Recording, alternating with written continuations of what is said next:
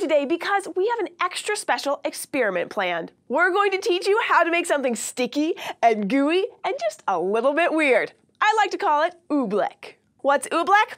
It's an awesome kind of goo that's lots of fun to make and fun to play with. And the goo that you and I are going to make today was inspired by a story by the writer and illustrator Dr. Seuss. Dr. Seuss once wrote a story called Bartholomew and the Oobleck. It's about a king who gets bored with normal everyday weather, so instead he makes sticky stuff fall from the sky. Now, what's neat about the sticky oobleck we're going to make today is that it acts like both a solid and a liquid without needing to change temperature, which is really unusual. Most things behave like either a solid or a liquid when they're at room temperature, but not both. So how are solids different from liquids? Well, things that are solid have a definite size and shape. If you touch it or move it or take it from one kind of container into another, it'll stay the same shape as before. But liquids are things that don't have a definite size or shape, like water. If you touch it, it moves. And if you move it from one kind of container into another, it changes its shape to fit the new container. So, for example, this toy is a solid. Whether it's standing up or knocked over on its side, it stays the same size and the same shape. And if we try to put it in this glass, it still keeps its shape. It doesn't change because it's a solid. But if we knock over a glass of water, the water spills everywhere, changing its shape. And if we pour it from this glass into this glass of a different shape, it changes its shape to fit because water is a liquid. And while most things behave like either a solid or a liquid, some things like oobleck can act like both. But how? Let's find out. It's time to make oobleck. All you need is a big bowl, a measuring cup, a spoon, some cornstarch, and of course, a grown-up to help you. Set out your bowl, spoon, and your other ingredients in the kitchen or any place where it'll be easy to clean up.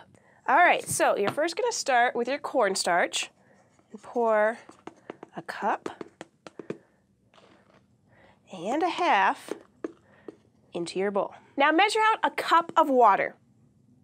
If you want your oobleck to be a certain color, you can add a few drops of food coloring to your water. Squeaks and I will be making ours blue.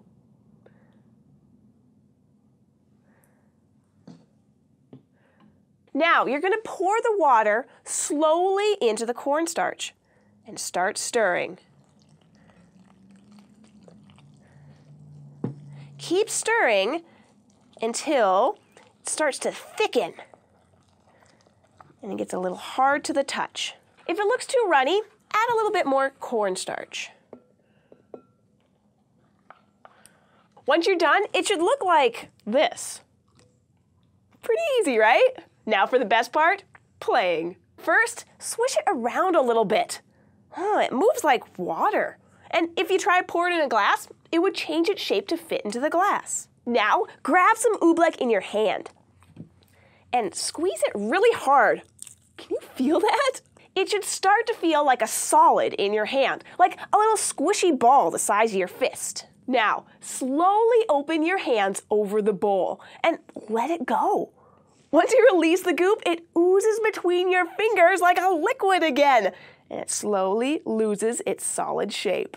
So sometimes oobleck behaves like a solid, like when you touch it or squeeze it, it becomes hard and takes a definite shape. But sometimes when you let it go, or when it's on its own in the bowl, it behaves like a liquid. So oobleck is different from that toy or just regular water because it can be both a solid and a liquid at room temperature, and that's what makes it so fun. Now, it's time to clean up. When you're done playing with your goop, don't throw it in the sink. It might clog the drain. Just toss it in the trash. Or better yet, store it in a sealed bag or container to play with later. Squeaks and I are going to keep playing with this batch before we clean up, but we'll see you again soon. Thanks for making oobleck with us. And remember, if you have a question about anything you'd like to learn more about, just let us know by getting help from a grown-up and leaving a comment below. Or email us at kids and we'll see you later.